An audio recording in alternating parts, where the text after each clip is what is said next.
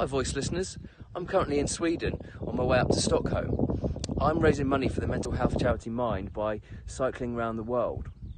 If you'd like to make a donation, please follow the link above, which will take you to my Just Giving page. Every bit of support really does help. I look forward to dropping by and updating Martin King on his show soon. Bye.